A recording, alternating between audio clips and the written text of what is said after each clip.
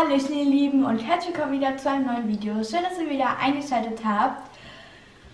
Heute kommt mal wieder ein Back to, Back to, Tool.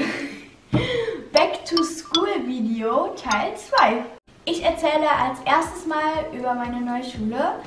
Ähm, ja, ich hatte nämlich die Einschulung. Und jetzt zeige ich euch meine Hefte, die gerade vor mir liegen. Und ähm, ja, noch ein paar Stifte und ihr wisst, glaube ich, was ich meine. Fangen wir mal an. Also, heute halte ich meine Einschulung. Ach nee, warte, ich habe eine bessere Idee. So, Leute, jetzt geht's los. also, heute hatte ich heute hatte, heute hatte ich mein, äh, meine Einschulung und äh, so, jetzt mal ohne Mikrofon. Ich habe auf jeden Fall eine Lehrerin und ja, sie ist auch äh, sehr nett und wir haben auch in unserem Klassenraum eine Tafel.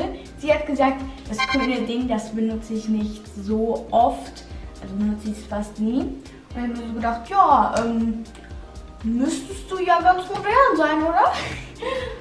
Und dann ähm, war da hier so eine Leinwand. Ihr wisst, glaube ich, was ich meine, so weißes Ding, das man runterzieht ich weiß nicht, wie man das nennt, nur halt ein etwas kleiner. Und dann war da halt so ein Viereck, nur halt mit runden Ecken.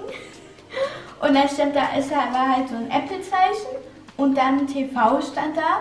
Und ich denke mal, das ist wie so ein äh, Adapter oder so. Weißt du, was das ist, Mama?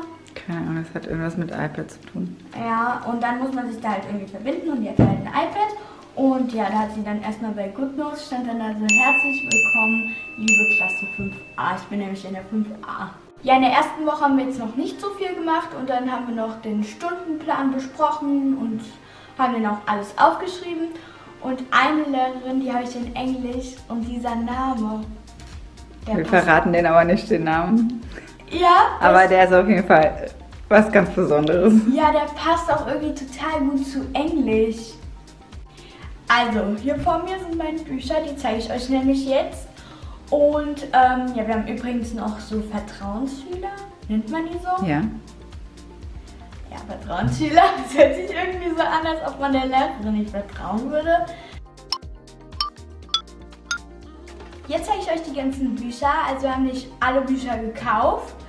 Ähm, wir haben auch ein paar ausgeliehen. Und die, die wir halt kaufen konnten, die haben wir gekauft und die, die wir ausleihen konnten, die haben wir ausgeliehen. Fangen wir mal mit dem Duden an. Schwer, gefühlt ein Kilo oder so. Und auf jeden Fall sehr dick. Dann habe ich noch die Bibel hier. Die habt ihr bestimmt, wenn ihr auch katholisch seid. Und dann kommen jetzt noch zwei Hefte, die wir gekauft haben. Der Rest ist geliehen. Einmal das Deutschheft hier. Genau. Das ist von Cornelsen. Dann kommen wir zu einem Buch, auf das dessen Fach ich mich am meisten freue. Und ja, einige von euch, denke ich mal, hatten bestimmt das Sally-Buch. Und das fand ich so geil. Was kommt jetzt? Green Line. Aber ich denke, das wird auch cool, so wie ich das mir angucke, hier ist nämlich auch so ähm, CDs. Genau. Naja, ich freue mich auf jeden Fall auf das Fach Englisch, weil ich möchte nämlich flüssig Englisch sprechen. I've read in the Weekly Gazette that the Queen loves Devonshire Squab. Jetzt kommen wir zu den anderen Sachen. Ich habe mir eine neue Aladdin-Flasche geholt. Genau, die ist so lila und ja, meine Lieblingsfarbe ist ja auch lila und daher passt es ja auch ganz gut. Also ich hatte die Flasche auch schon in der Grundschule, nur dass äh, das hier, das so ein bisschen lila durchsichtig ist, das hatte ich halt in transparent, also durchsichtig und äh, ja, da kann man halt so draus trinken und ähm, im Unterricht, das war immer so und dann habe ich halt so lauter gezogen und dann hing da sozusagen meine Lippe dran. Und dann hatte ich hier immer so einen Abdruck, dann wollte ich das so wegmachen und dann hat das immer so, war so so. Und dann äh, hat ein Klassenkamerad aus meiner alten Klasse gesagt, Luisa mit der äh, Quietsche, Quietscheflasche. Ihr könnt ja mal gerne in den Community-Tab schreiben, ob ihr auch immer so einen Abdruck habt und ob ihr auch immer da so dran zieht. Dann habe ich noch Desinfektionsmittel.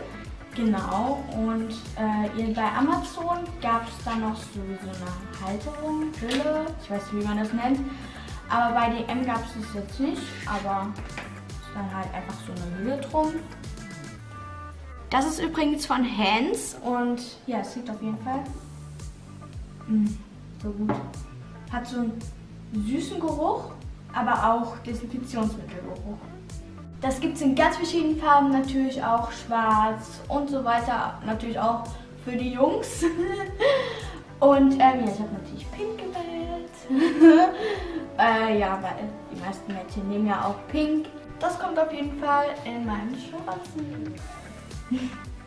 Dann habe ich mir noch zufälligerweise, ganz zufälligerweise, was für mein Mäppchen gut und ganz zufälligerweise genau das, was ich Easy auch geschenkt habe.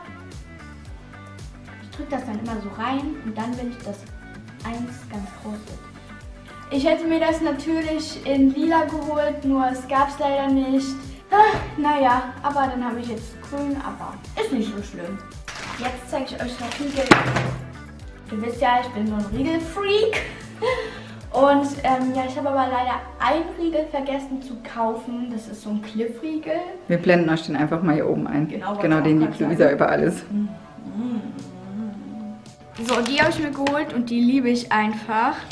So zwei, drei Fruchtschnitten und dann noch so zwei Schoki.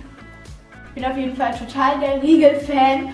Und ähm, ja, schreibt mal in den Community-Tab rein, ob ihr auch so ein Riegel-Fan seid. Dann habe ich mir noch Stifte geholt.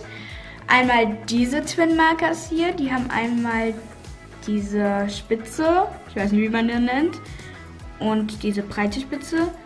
Und ja, Fein und Brush, kennt ihr ja bestimmt schon. Und ähm, ja, gleich zeige ich euch noch was Cooles, wie ihr euer Cover von zum Beispiel einem Matheheft oder so verzieren könnt. Dafür habe ich mir extra diesen Aquarellblock geholt. Ihr könnt natürlich auch etwas dickeres Papier nehmen. Das ist ja, Aquarellpapier ist ja eh dickeres Papier. Und ja, dann würde ich mal sagen, let's go! Also erstmal braucht ihr einfach so eine Klarsichthülle oder von so einem, also wir haben das schon mal gemacht, deswegen ist es ein bisschen dreckig. Oder einfach von einem Schnellhefter, den ihr nicht braucht. Ich nehme jetzt meine Topmodel-Stifte dafür.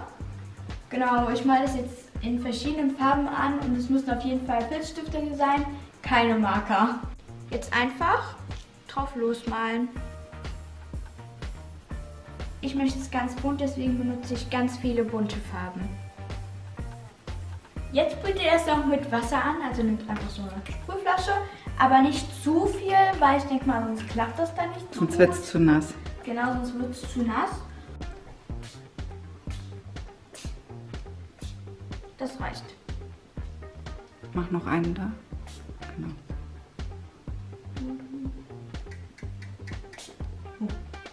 Jetzt nehmt ihr das und dann dreht ihr es um und dann drückt ihr das so fest. Uh, bin zum DJ geworden.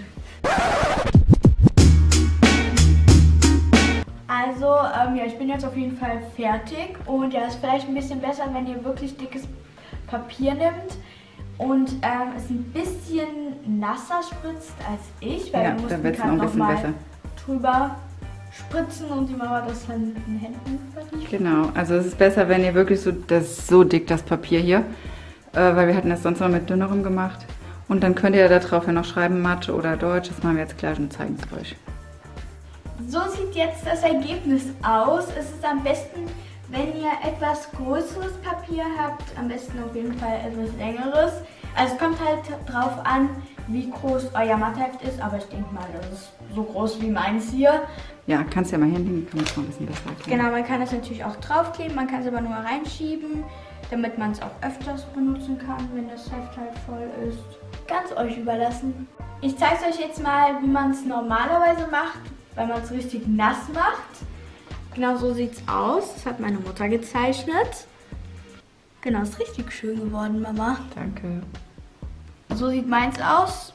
Also ein bisschen mehr Wasser. Wäre schon gut gewesen, aber naja, es sieht auch ganz schön aus. Und ja, ich mag auf jeden Fall das Ergebnis, aber ich finde, es sieht eigentlich ganz schön aus mit dem roten Rand. Wir haben das schon mal gemacht, aber mit größerem Papier und dann haben wir das draufgeklebt aufs Heft. Aber man kann das natürlich auch so in den Umschlag stecken. Genau. Dann kann man das öfters mal benutzen.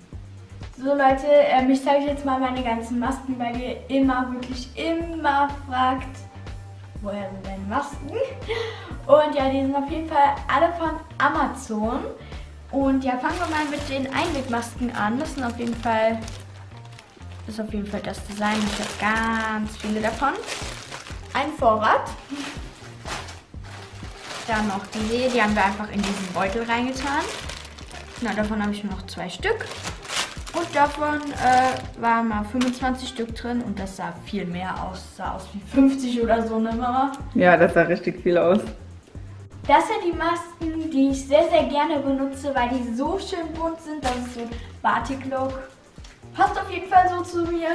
Das ist so eher so Galaxy und das auch so Galaxy-mäßig. Und eine Klassenkameradin von mir, also von meiner alten Klasse, also aus der Parallelklasse, die hatte auch so eine Maske, nur halt nicht in Einweg, sondern halt in einer KN95-Version sozusagen.